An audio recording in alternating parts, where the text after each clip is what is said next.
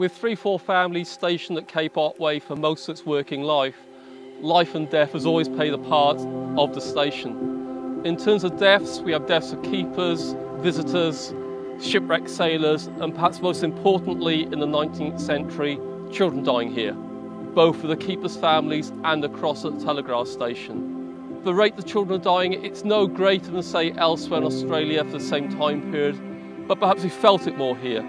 You've got a small community, three, four families stationed here. 800 metres further along the Great Ocean Road walk, you have Cape Otway Cemetery. It's used as a cemetery for the families here, settlers and shipwrecked sailors. We know from our own records there's more people buried in that cemetery we have grave markers for. In terms of the keepers, one of the most tragic cases is that of Thomas. Thomas John Porteous, described as a jolly fellow, always fun of making a joke. He arrives here as an assistant keeper in 1897 and arrives back here in 1914 as the head keeper here.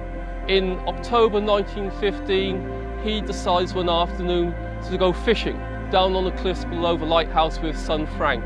They leave about 3.30 in the afternoon and have a great afternoon together fishing below the lighthouse. But then he realises that it's getting a bit late. He's going to be late for work.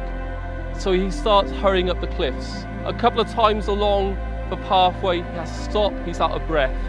But he does make it back here, behind me, to the head keeper's quarters. He's met by his wife Grace, who asks him if he wants anything to eat.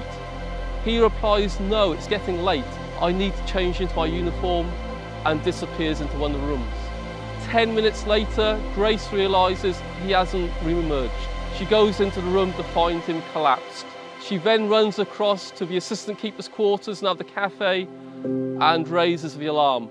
The assistant keeper, Dunk, rushes back to the head keeper's quarters and tries to revive Thomas with brandy, but he's dead.